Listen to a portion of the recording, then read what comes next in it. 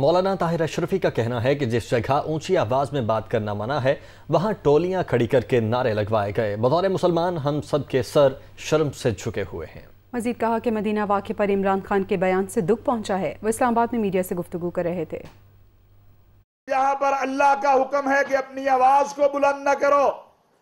जहाँ पर कहा गया कि रसूलुल्लाह सल्लल्लाहु अलैहि वसल्लम पर दरूद पढ़ते हुए भी आवाज़ आहिस्ता रखो वहाँ पर एक प्लानिंग के तहत टोलियाँ खड़ी की गई। और जालिमों क्या पाकिस्तान में सियासत जो है, इसका मैदान खत्म हो गया है?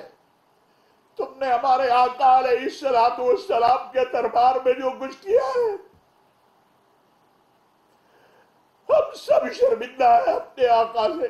मेरा ख्याल था कि इमरान खान साहब, जिनको मैं आज के रसूल समझता हूँ वो इसकी मजम्मत करेंगे, लेकिन उनके बयान से भी मुझे दुख पहुँचा, तकलीफ़ पहुँची है।